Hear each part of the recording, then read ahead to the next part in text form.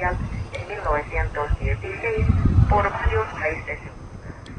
Los primeros en introducir el horario de verano fueron los alemanes a partir de 1916. El 1 de octubre, los británicos que también introdujeron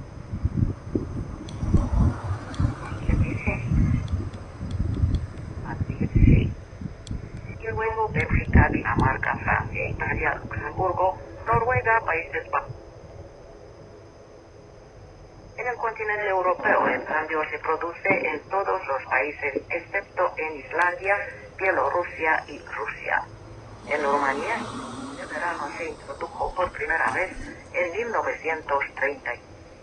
En la Unión Europea, todos los países cambian al horario de verano